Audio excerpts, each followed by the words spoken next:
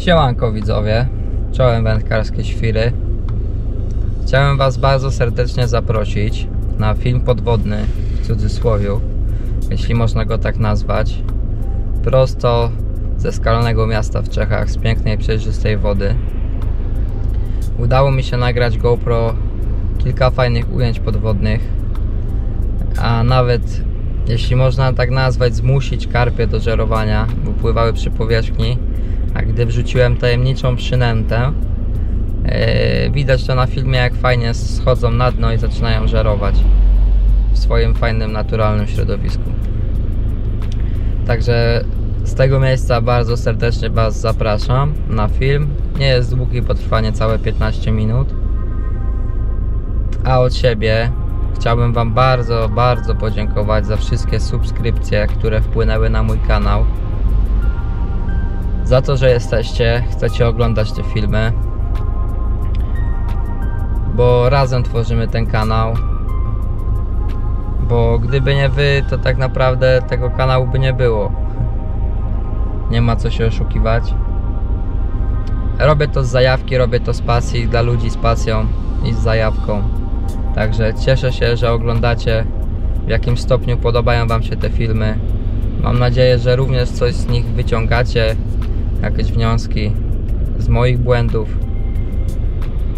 Zachęcam Was do komentowania, do oglądania filmów, do sprawdzenia wcześniejszej playlisty.